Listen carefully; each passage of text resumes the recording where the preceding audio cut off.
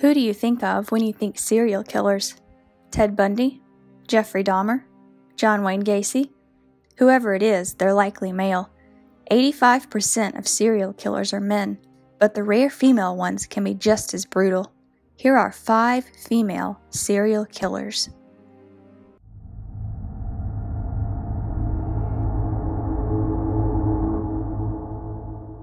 Number 1. Belle Gunness. Even in the 1800s, it wasn't uncommon for people to immigrate to the United States. Norwegian born Belle Gunness came to the U.S. in 1881 in a quest for wealth, but went about it in an unusual and deadly way. In 1884, Gunness married her first husband, Mads Albert Sorensen. The couple settled in Chicago and opened up a candy store, but it didn't do well. When both the store and their house soon burned down, they collected the insurance money and used it to buy a new home. The couple went on to have four children together. Two of the children would die from acute colitis, the symptoms of which are similar to those of poisoning. In 1900, on the day two of Sorensen's life insurance policies overlapped, he died of heart failure. His family was suspicious and wanted an inquiry into his death, but no charges were ever filed. In 1902, Belle married widower Peter Gunness. Within months, Peter and his infant daughter from his first marriage were both dead. After their deaths, Belle began posting personal ads, but many of the men who answered were never seen again. Then, on April 28, 1908, Belle's farmhouse burned to the ground. One of her farmhands, Joe Maxon, fell to his death while attempting to escape through his second story window. The bodies of all four of Belle's children were also found in the rubble, along with more than 40 additional unidentified bodies. One of the bodies was initially believed to be Gunness, however, most of the remains didn't match her description. In fact, the only thing they seemed to have in common with Gunness was a set of gold teeth her dentist claimed she had. Belle's surviving farmhand, Ray Lamphere, was found guilty of arson but acquitted of murder. He would spend the rest of his life in prison, but not before confessing the awful truth. Lamphere had been an accomplice to Gunness's many murders at the farmhouse. He claimed she would drug victims' coffee before hitting them over the head with a meat cleaver, dismembering their bodies in the basement, and dumping the remains in the hog pen. He also said the body believed to be Gunness's was really that of her maid. Gunness had planned the fire, withdrawn most of her money from the bank, and skipped town. She was still alive out there somewhere, doing God only knew what. Although she's likely dead by now, her body has never been found. Number 2. Delphine LaLaurie.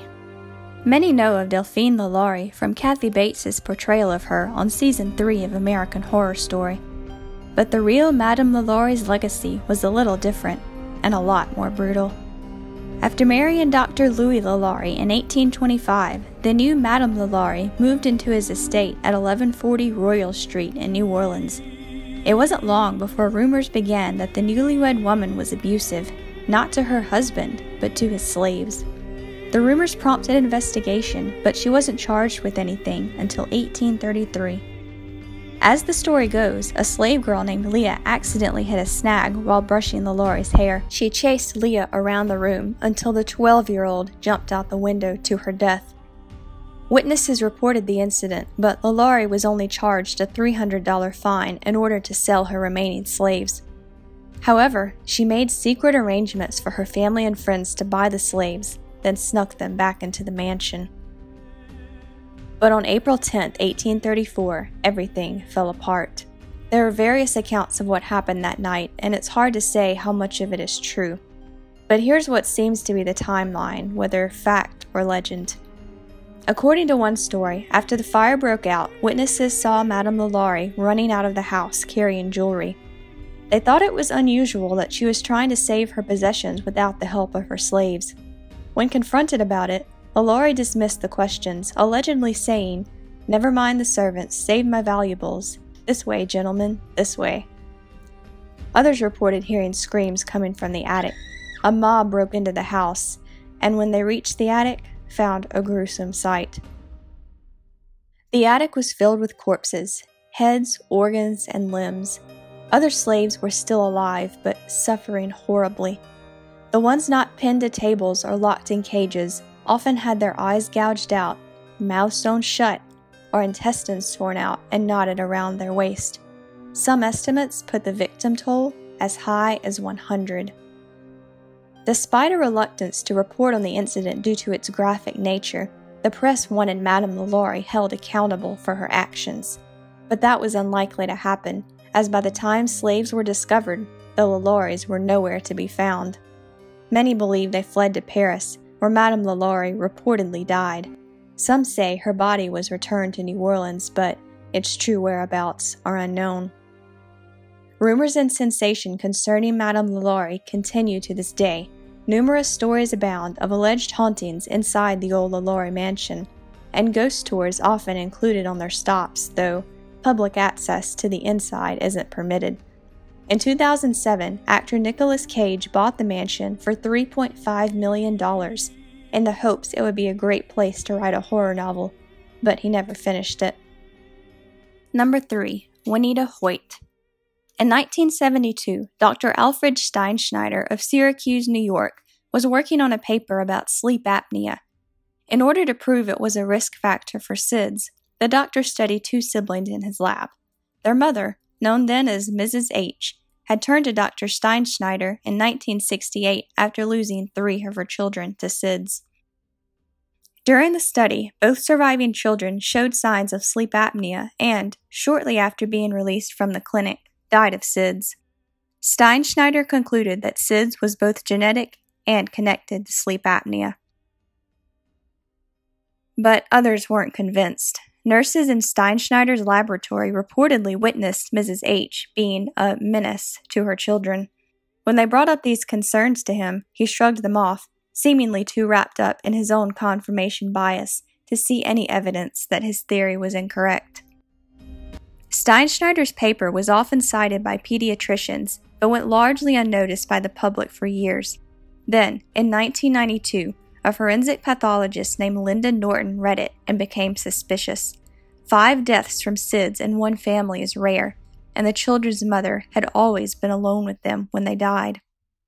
Norton brought up her suspicions to a prosecutor in Syracuse who opened an investigation. In 1994, Mrs. H, whose real name was Waneta Hoyt, confessed to murdering five of her six children by suffocating them. The children ranged in age from just over a month old to two years.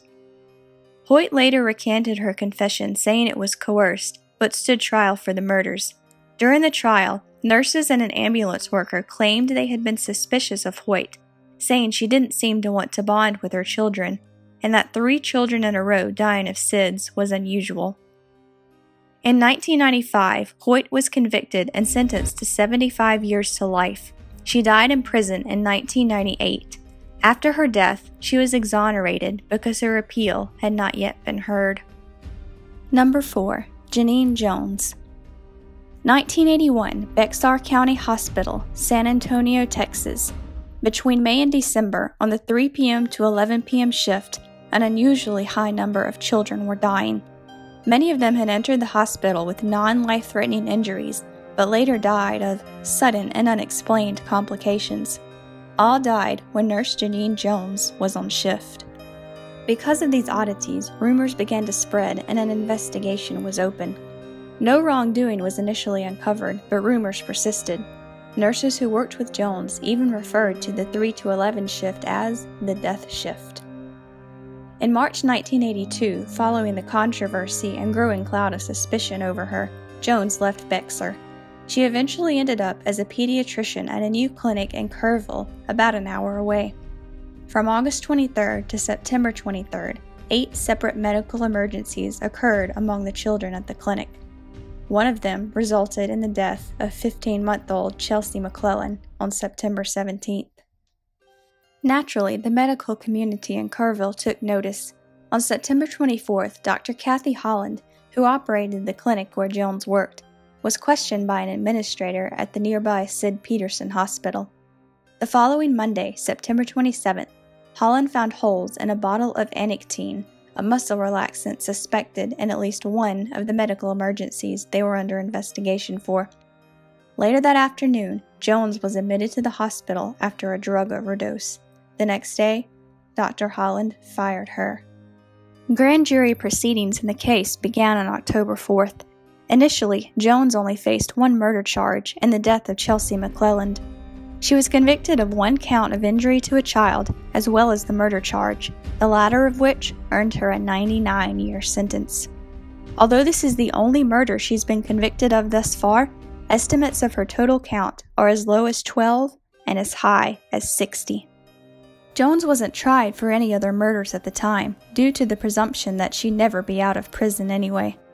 But in 2017, she was set to be released due to overcrowding. In order to keep her behind bars, new charges were brought up, this time in the death of two year old Rosemary Vega in San Antonio. Jones was eventually charged with four more murders and she faces life in prison for each count. She has pled not guilty. Because this is technically an ongoing case, I'll try to keep you guys updated. Check the description below for any updates in the future. Number 5. Terri Rachals. Babies and young children aren't the only ones who have been harmed by those hired to protect them. In 1986, Georgia nurse Terri Rachals, who was just 25 at the time, was convicted of the murders of six of her patients, who range in age from 3 to 72, by injecting them with potassium chloride. The prosecutor in her trial called her the murderess of the century.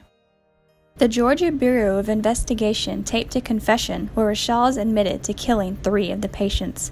In that confession, she also claimed to have committed the murders because she didn't want to see the patients suffer anymore.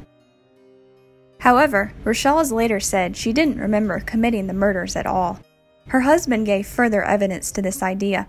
He claimed she would initiate sexual encounters between them, then look puzzled when he brought them up the next day. Regardless of her motive or mental state, Rachals was sentenced to 17 years in prison for the murders.